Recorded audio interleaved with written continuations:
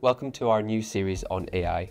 Over the coming months, we'll explore the key challenges and opportunities within the rapidly evolving AI landscape.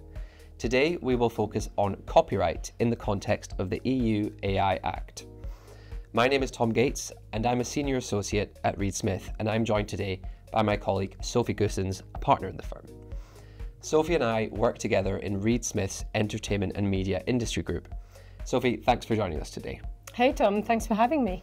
Thanks for taking part in this quick fire round of AI questions. Um, so let's start off with an easy one.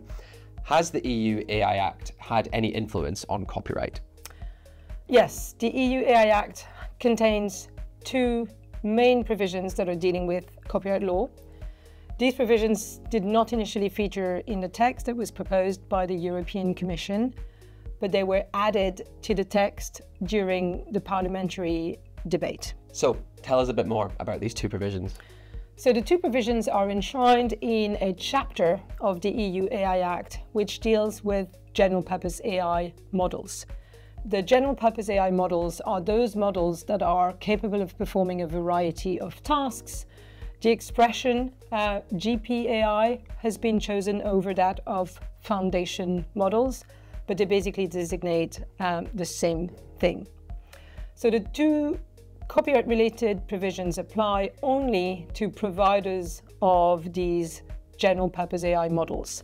And they are as follows. The first obligation is that to put in place a policy to comply with union law on copyright and related rights, and in particular, in the context of that policy, to explain how the provider of the GPAI model is complying with the right to reserve rights as enshrined under the Copyright Directive. The second obligation is that to uh, draw up and prepare and make publicly available on the website a sufficiently detailed summary about the content used for training the model according to a template that will be published by the AI office. So, for those of us that aren't copyright experts, can you give us a quick reminder on the concept of reservation of rights? With pleasure. So, the concept of reservation of rights is a concept that was enshrined in the Copyright Directive, the last Copyright Directive, which was adopted in the EU in 2019. That directive created a bunch of new copyright exceptions, including an exception for text and data mining, which is the process that is relied upon by everyone in the world of AI today.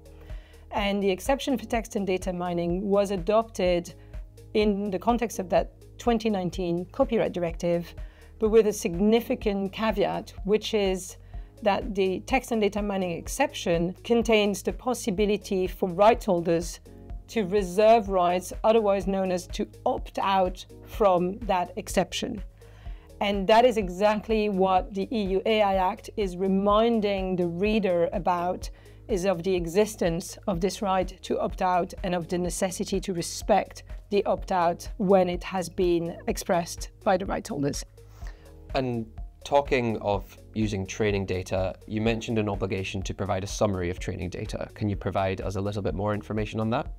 So the recitals of the EU AI Act are not very detailed on this, and we will probably need to wait for the AI Office to publish the template to have better clarity. What we know for now is that the template will have to be simple, effective, allow the provider to provide the information in narrative form. What we also know is that the AI Office will need to balance the need to protect trade secrets, confidential business information on the one hand, but also the legitimate interests of copyright holders on the other. We also know that the summary will need to be generally comprehensive but not technically detailed. And finally, that the AI office should monitor whether the providers of these models have fulfilled this obligation without having to verify this on a work by work basis. And then finally, you mentioned the obligation to have a policy in place. Can you tell us a bit more about how that might affect our clients? So, the oblig- obligation to have a policy to respect copyright law is a very important one and a controversial one as well. And this is for a number of reasons. The first reason why this policy is controversial is because it will apply to any provider of a general purpose AI model that is seeking to place this model in circulation on the union market. And any provider, regardless of where the model has been developed, it might have been developed in the US, it might have been developed in the UK, it might have been developed in Singapore or anywhere else on the planet.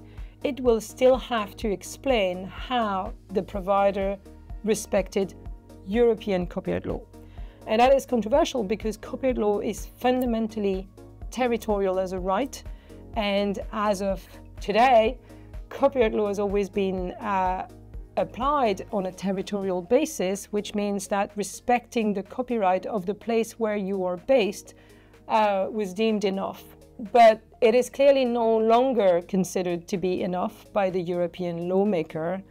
Um, and they have explained why they think so in one of the recitals, which says that this application of copyright on an extraterritorial basis is necessary to ensure a level playing field among all the providers of general purpose AI models, where no provider should be able to gain a competitive advantage in the union by applying what the text calls lower copyright standards than those provided in the union. So, this idea of establishing a hierarchy between different copyright laws in the world is completely unprecedented in the world of copyright and will be the topic of many more debates in the future. Thank you.